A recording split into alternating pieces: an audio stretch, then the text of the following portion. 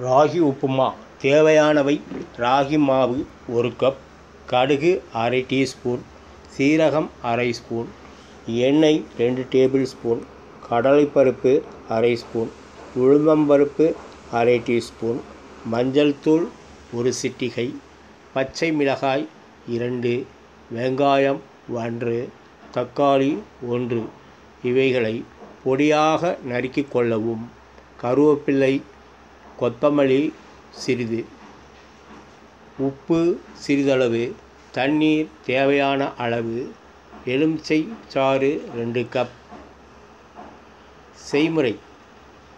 முதலில் ஒரு கடாயை அடுப்பில் வைத்து அதில் ஒரு டீஸ்பூன் எண்ணெய் ஊற்றி காய்ந்ததும் ராகி மாவை போட்டு நல்ல மணம் வரும் வரை வறுக்க வேண்டும். பின்னர் மற்றொரு கடாயை அடுப்பில் வைத்து அதில் மீதமுள்ள எண்ணெய் ஊற்றி காய்ந்ததும் கடுகு மற்றும் சீரகத்தை போட்டு தாளித்து பின் கடலைப்பருப்பு உளுந்தம்பருப்பு சேர்த்து பொன்னிறமாக வறுக்க வேண்டும்.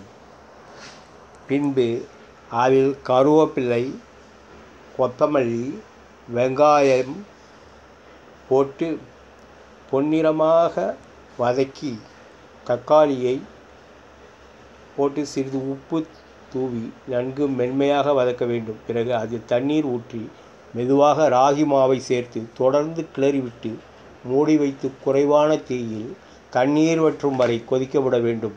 தண்ணீரானது முற்றிலும் வற்றியதும் அதனை இறக்கி எலுமிச்சைச்சாறு மற்றும் கொத்தமல்லியை தூவி பிரட்டி இறக்கினால் ராகி உப்புமா ரெடி.